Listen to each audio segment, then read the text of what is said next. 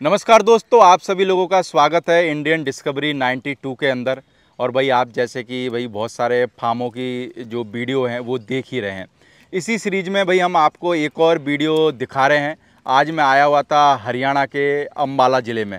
और अम्बाला से कितनी दूर ये भाई साहब का जो गाँव है, वो पड़ता है, क्या गाँव का नाम है? और भाई साहब के इस घोड़े के बारे में पूरी डिटेल इस वीडियो में आज हम जानने वाले हैं। तो नमस्ते भाई साहब कैसे हैं भाई साहब? ठीक है भाई साहब प्रदीप जी नमस्कार। आपका यहाँ पे पहुँचने में बहुत बहुत स्वागत। बिल्कुल भाई साहब धन्यवाद। बाकी मेरे लगता है धूप धूप सब निकलना चालू होगी अब तो है? हाँ जी हाँ जी ठंड थी क्या नहीं थी दवा के? हाँ ठंड बहुत थी पर कम हो गई अब। अब कम हो गई है? गर्मी स्टार्ट है जी। बिल्कुल बाकी धीरे धीरे और गर्मी आ जानी मेरे को लगे है ना? हाँ जी हाँ जी हाँ जी अभी जो। मौसम है मेरे को लगता है ऐसा है कि ज़्यादा गर्मी नहीं है ना? हाँ जी हाँ जी ठीक ठीक है। ठीक है स्टार्टिंग है जी। तो भाई साहब सबसे पहले मैं चाहूँगा कि अपना एक बार नाम फार्म का नाम और जो अपने फार्म की लोकेशन है वो क्या है? मेरा नाम है जी विकास और ये है गाँव धनाना धनाना धनाना ओके। जिला अम्बाड़ा जिला अम्बाला लगता हाँ? है जी हाँ जी जिला अम्बाड़ा लगता है। तहसील नारायणगढ़ है जी। ओके। और ये हरियाणा में है। हरियाणा में। हाँ जी, और हाँ फार्म का क्या नाम रख रखा है? फार्म का नाम है जी महादेव धनाना स्टड फार्म। बिल्कुल। महादेव के भक्त हो गया? हाँ जी हाँ साहब। बिल्कुल। तो भाई साहब बात करें कितने घोड़ा घोड़ी रख रखे हैं अभी घर पे? घोड़ा घोड़ी पाँच हैं भाई साहब। पाँच है? हाँ जी हाँ तो जी। पाँच में क्या क्या है? पाँच में दो घोड़ी हैं जी। हाँ हाँ। और एक ये है घोड़ा के सामने। ओके। और दो बच्चे हैं। अच्छा दो उन्हीं घोड़ियों के बच्चे होंगे? घोड़ियों के बच्चे। तो भाई साहब अगर बात करें हम इस वीडियो में इस घोड़े की जो अभी हमारे सामने खड़ा हुआ है क्या नाम है बच्चे का?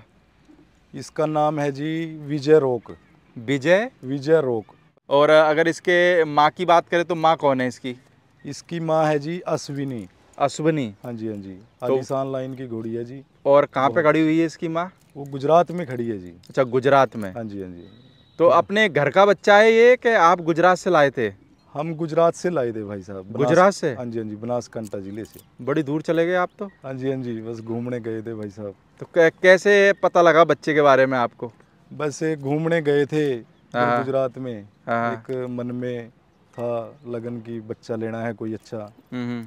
तो वहाँ पे हमारे को ये मिल गया। अच्छा कोई आपका मिलने वाला होगा? मिलने वाला था एक जानकार। हाँ, तो हाँ। थराद के पास एक गाँव है जमड़ा। हाँ हाँ। वहाँ पे एक बंसी अस्सव स्टड फार्म है। हम्म, तो वहाँ पे बच्चा हमारे को मिल गया और ये देखने में बहुत अच्छा लगा। बिल्कुल। तो इसलिए इसको वहाँ से। तो कितनी उम्र में ले लिया था भाई साहब ये बच्चा?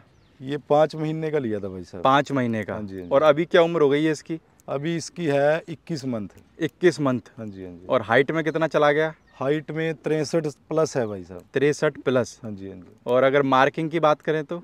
मार्किंग एक पैर वाइट है जी। हम्म, बाकी मत्थे पे ब्लेज है। तो भाई साहब जब आप लेके आए थे जब पाँच महीने का होगा और जैसे अभी थोड़ा सा शरारती हो गया है हाँ जी हाँ जी। स्वभाव में कुछ फ़र्क आया कि सेम ही है स्वभाव?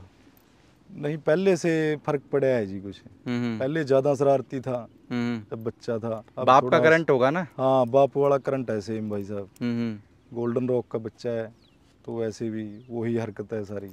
बाप गोल्डन रॉक है ना? हाँ जी हाँ जी हाँ जी गोल्डन रॉक का बच्चा है तो भाई साहब इससे पहले जो घोड़ा घोड़ी आपने रख रखे थे वो लाइन वाले थे कि ऐसे ही अननोन थे? वो भी लाइन की है घोड़ियाँ। लाइन की हाँ है? जी हाँ जी दो घोड़ियाँ हैं वो भी लाइन की है बहुत अच्छी घोड़ियाँ हैं जी। हम्म, हम्म, एक अली बाबा लाइन की है। हम्म, हम्म। और एक विकास घोड़े की बच्ची है। विकास घोड़े की हाँ, बच्ची। जो नागौर वाला है विकास। तो दोनों घोड़ियाँ खाली है कि अभी गब्बन है? अभी खाली है जी अभी बच्चे दिए हैं उन्होंने। एक ने तो सात आठ महीने का हो गया अभी लगवानी है वो। बिल्कुल। और एक अभी तीन तीन चार में मंथ का है। तीन चार मंथ का हाँ। है जी हाँ जी। तो भाई साहब बच्चा लेके आए तो किस उद्देश्य से लेके आए? क्या उद्देश्य है कि भाई रिंग में बिनर बनाना है या ब्रीडिंग के हिसाब से या सिर्फ़ शौक के हिसाब से? भाई साहब शौक था बस लगन थी मन में कि कोई अच्छा बच्चा हो हमारे पास भी। हम्म। जैसे लोग काम करते हैं नाम के लिए भी आजकल दुनिया काम ही कर रही है। नाम का ही पूरा काम है मेरे लगता है ना। नाम का भी होता है भाई साहब। हाँ हाँ। तो बस ये परमात्मा को देना था बच्चा कहीं मिल गया खड़िया अच्छा बच्चा मिल गया जी। तो भाई साहब क्या शेड्यूल रखते हो? यानी कि सुबह से शाम तक का कैसे क्या रहता है घोड़े का? बस सुबह भाई साहब वही है सवेरे प्रैक्टिस हम्म, और बाद में खाना पीना फिर ग्रूमिंग चलती है। और फिर वही खाना पीना शाम को फिर प्रैक्टिस देते हैं इनको यानी कि रनिंग वगैरह कराते हाँ, होंगे रनिंग हैं? रनिंग करवाते हैं जिनकी। तो अभी फ़ीड में क्या देते हो आप? घर की के बाहर की? बस घर की भी दे रहे हैं घर की चलती है जी मेन तो। मेन घर की। हाँ, चने जो। चोकर बस यही दे रहे हैं भाई साहब। तो सब आपके खेत का ही है? हाँ खेत का ही है अपना। अपनी खेती है उसी से करते हैं यानी कि सब देसी डाइट चल रही है हाँ देसी डाइट जी। तो अभी जैसे थोड़ा सा मेरे को लगता है कि हल्का सा वज़न बढ़ाना पड़ेगा है ना? कम कम कर रखा है वज़न ने। हाँ अभी प्रैक्टिस चल रही है जी कुछ बच्चा है अभी। हम्म बस अभी कर रहे हैं इसकी। बाकी मेरे लगता है कि भाई ने थोड़ा सा घिसाई ज़्यादा कर दी घोड़े की है ना? हाँ मालिश ज़्यादा कर दी। क्यों भाई? मालिश ज़्यादा कर दी क्या? है?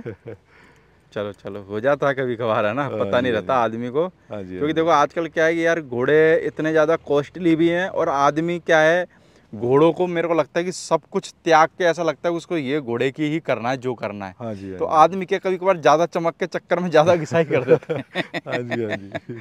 पर चलो ये सेवा भाव रहना ही चाहिए। मेरे लगता है कि तभी आज जो घोड़ों का मार्केट है करोड़ों में ऐसे ही नहीं पहुँचा। हाँ जी हाँ जी हाँ जी। क्योंकि ये सेवा भाव की वजह से ही पहुँचा है। सेवा है जी हाँ तो भाई जब कितने साल से घोड़े रख रहे हो या फिर आपके पहले से ही घोड़े आ रहे हैं यानी कि नहीं भाई साहब हमारे जो बुज़ुर्ग थे वो बैल रखते थे। हम्म, पहले बैलों की खेती थी। हम्म, तो उनको शौक था कि अच्छे से अच्छा बैल लेना है।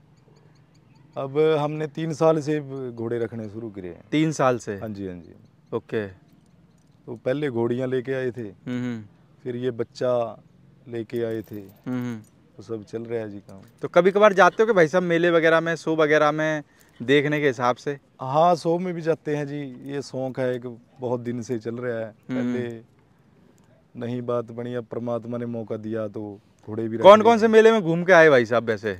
अभी इसको कुरुक्षेत्र में हुआ था एक डी एफ़ मेला अच्छा वो जो गवर्नमेंट का होता है जो हाँ गवर्नमेंट का था उसमें हाँ। सेकंड आया था वहाँ पे। अच्छा वहाँ पे ये सेकंड नंबर हाँ, पे आया था। टू टिथ कैटेगरी में लगाया था वहाँ पे उन्होंने इकट्ठी कर दी थी मिल्क टीथ तो दो, दोनों कैटेगरी में मिला के कितने बच्चे थे रिंग में टोटल पंद्रह बच्चे थे। पंद्रह बच्चे हाँ थे जी हाँ जी। तो वहाँ ये सेकंड आया था है सेकंड था जी हाँ। बिल्कुल। बाकी और किसी रिंग में लेके गए कभी? हाँ उधर भी गए थे भाई साहब एक लुधियाना में थी जो वो एम्पियर हॉर्स कप है? हाँ जी हाँ जी हाँ जी। वहाँ भी लेके गए थे। हम्म। तो आप वैसे खुद जाते हो कि मेलों में घूमने के हिसाब से? बिना घोड़े के भी कभी जाते हो जैसे पुष्कर वगैरह सारंगखेड़ा वगैरह? हाँ बिना घोड़े के भी जाते हैं भाई साहब। पुष्कर गए थे इस बार? भी गया था। जहाँ जहाँ टाइम लगता है जाते हैं जी। यानी शौक परमान चढ़ रहा है आपके ऊपर धीरे धीरे है? हाँ जी हाँ जी हाँ जी। तो कभी कभार घर वाले कह देते कि भाई अपने काम धंधे पे ध्यान दिया करो यार क्या घोड़ों में क्या रखा? हाँ जी हाँ जी भाई साहब। बोल देते कभी कभार हाँ ये तो चलता ही है काम। तो बाकी अभी घोड़े के अलावा क्या गाय वगैरह भी रखते हो क्या? हाँ गाय भैंस भी है अपने घर में तो गाय के सारे मेरे को लगता है कि भाई घोड़ों का भी हाँ। मामला चल जाता होगा है ना? हाँ जी हाँ जी हाँ तो आपके गाँव में आप ही रखते हो घोड़े वगैरह के और भी कोई रखता है आसपास में? नहीं बस हम ही रखते हैं भाई साहब। आप ही रखते हो यानी हाँ, कि? थोड़ी दूर पे रखते हैं लोग। हम्म हैं आसपास भी एक दो घोड़े वाला तो थोड़ी सी जैसे आपका गाँव तो मेरे को लगता है बड़ा है तो थोड़ी सी दिक्कत आती है कि घोड़े रखने में कि कोई दिक्कत नहीं आती? नहीं बस दिक्कत तो कोई नहीं बाकी ये है कोई गाँव में नहीं रखता तो उसके लिए नॉलेज बाहर से लेनी पड़ती है हम्म। लोगों से जाके। अगर ये कि पास में हो तो कभी अपने को ज़रूरत पड़ जाए तो अपन हेल्प ले हाँ, सकते हैं ना? ले सकते हैं बस ये फ़ायदा होता है तो फिर डॉक्टर वगैरह की कैसी व्यवस्था है भाई साहब?